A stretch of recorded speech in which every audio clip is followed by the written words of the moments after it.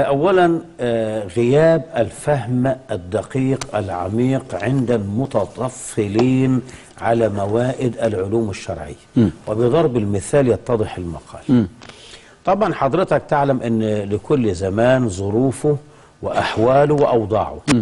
فكان زمان في بعض التراث الديني لظروف معينة تتعلق بالبيئة آه، آنذاك فظهرت مصطلحات دار إسلام ودار كفر ومصطلح الجزية ومصطلح أهل الذمة.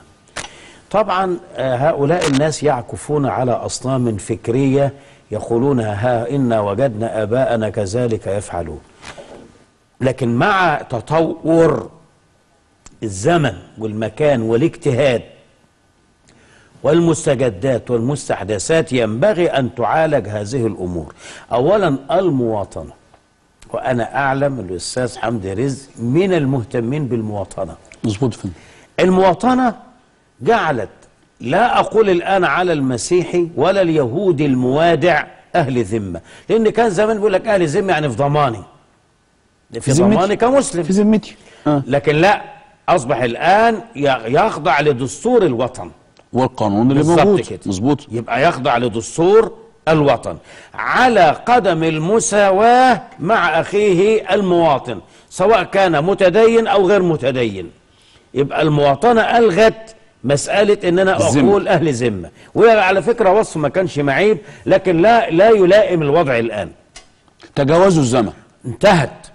تاني حاجة إن كان زمان لأمور تختص بتطبيق التشريع الجنائي الإسلامي ك... لم يوجد آه لا هويات لا بطاقات رقم قومي لا جوازات سفر لا حدود يعني دولية رئيسة فاحتاج الأمر من الفقهاء كعمل اجتهادي.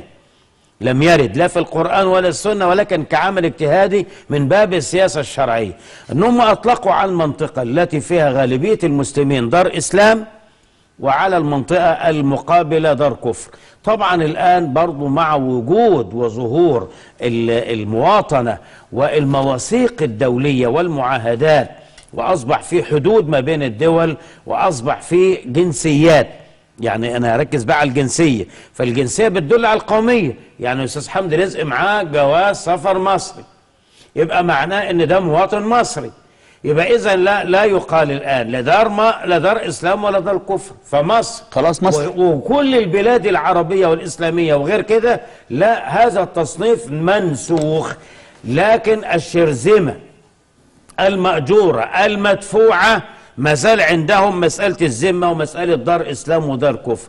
أيضا المسألة الأخيرة في هذا وده ردا على سؤالك الثمين جدا. الثري جدا الدقيق والعميق أنه مسألة الجزية.